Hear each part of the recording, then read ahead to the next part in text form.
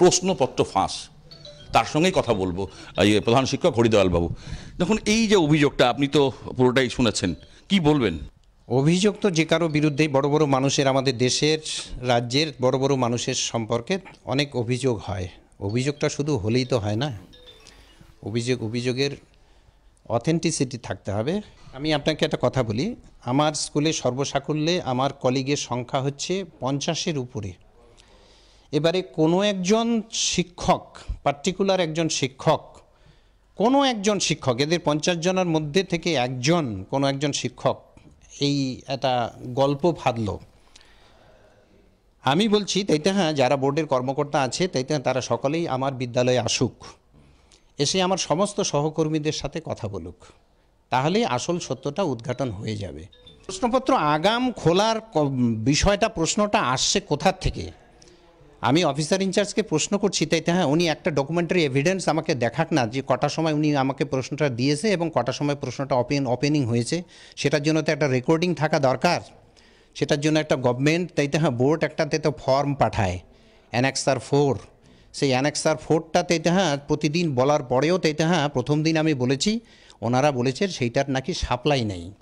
তার মানে কি, সম্পূর্ণ অনিয়ম সমস্ত সম্পূর্ণ অনিয়মভাবে শুধু আমার সেন্টারে আমার ভেনুতে নয় সমস্ত ভেনুতে কোনো জায়গাতেই ওদের কোনো রেকর্ডিংয়ে নাই যে কটা কটা সময় প্রশ্ন দিয়েছে আর কটার সময় প্রশ্নটা খোলা হয়েছে। এই অনেকটা হচ্ছে ব্ল্যাঙ্ক উত্তরপত্র।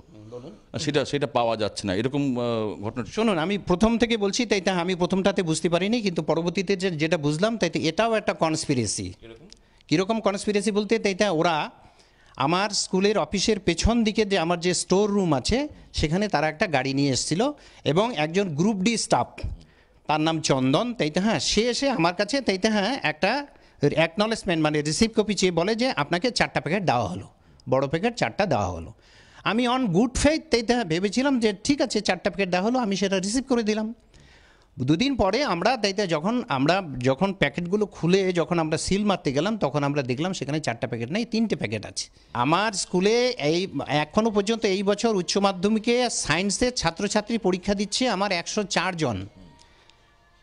যেখানে পার্শ্ববর্তী অনেক নামি দামি স্কুল আছে, সেখানে তাইতে ছাত্র সংখ্যা দাঁড়িয়েছে দুই থেকে পাঁচজন তো ভালো ভালো ছেলেমেয়েরা সবাই তো তাইতে হ্যাঁ ময়নাগুড়ি সুভাষনগর হাই স্কুলের দিকে ছুটছে।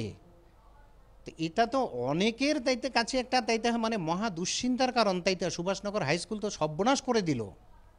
স্কুলকে তুলে দেওয়ার মতন উপক্রম।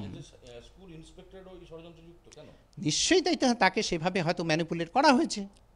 যে সমস্ত অডিও ক্লিপ ভিডিও ক্লিপ তাইতে হ্যাঁ ওখানটায় গেছে। হ্যাঁ সেগুলো তদন্ত হোক।